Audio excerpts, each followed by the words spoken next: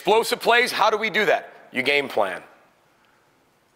You game plan to eliminate the explosive play on defense and create the explosive play on offense. And then tackling. Everything we do, we start practice with tackling drills, true tackling drills, and we end practice with a tackling circuit. Okay, I'm going to show you that here in a second. 2018-19, when we've won the 78% battle. You ready for this? This is why, this is, this is how we win. This is it. Okay, then hopefully you can take this with you. We were 17 and 0. That's unbelievable. Think about that. How are you going to turn a program around hasn't won a championship in over 55 years?